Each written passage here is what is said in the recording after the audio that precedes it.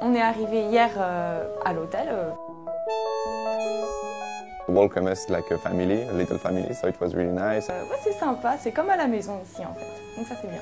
cerca de todo y cerca de la is a restaurant really close from here, it's near to the, the main street. Les lits sont super confortables. Los colchones que estaban como nuevos. Et voilà, et puis ce matin, on s'est réveillé tranquille. And uh, the breakfast was nice in the morning with tea, coffee. Pan casero, manteca, frutas. Et euh, l'eau est chaude, il y a une- une- des toilettes juste à côté de la chambre, donc ça c'est pas mal. Agua caliente todo el día, eh, cualquier hora. Il y a un, un feu de bois euh, dans le salon avec des vieux canapés dans lesquels on peut se mettre. And read a book, uh, watch a movie. Or Para aprovechar los días de lluvia.